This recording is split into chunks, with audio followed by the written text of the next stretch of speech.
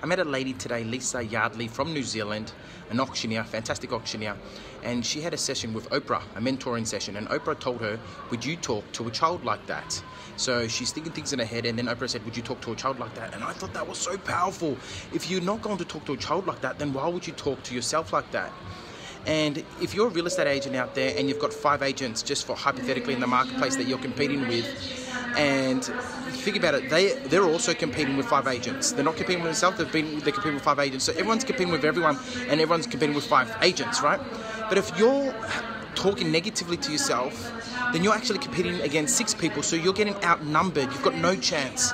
So just really encourage you to uh, speak words of positivity and uh, just think of awesomeness and abundance and anything is possible.